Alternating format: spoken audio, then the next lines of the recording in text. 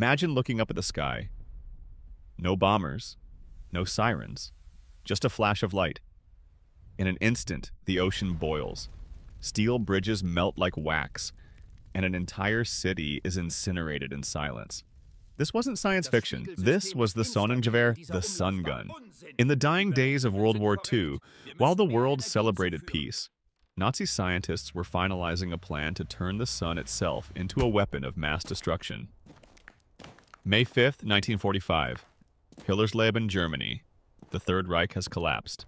U.S. Army Lieutenant James Sterling enters a bombed-out artillery proving ground looking for rockets. Instead, hidden in the debris, he finds the impossible. Detailed calculations for a mirror, three miles wide. The math was terrifyingly perfect. The plan?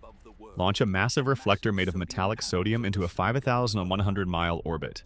Like a child with a magnifying glass burning ants, this station would focus solar energy onto any point on Earth. They weren't just building a gun, they were building the ultimate high ground.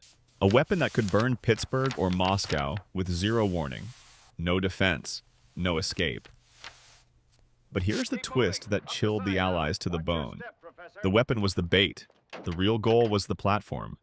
The blueprints featured airlocks, oxygen recyclers, artificial gravity. The Nazis had inadvertently designed the world's first space station. We didn't destroy these plans, we stole them. Under Operation Paperclip, the US brought these scientists home. The technology designed to burn the world eventually built the satellites that guide our cars and the station where astronauts sleep tonight. We reached the stars. But we did it by standing on the shoulders of monsters.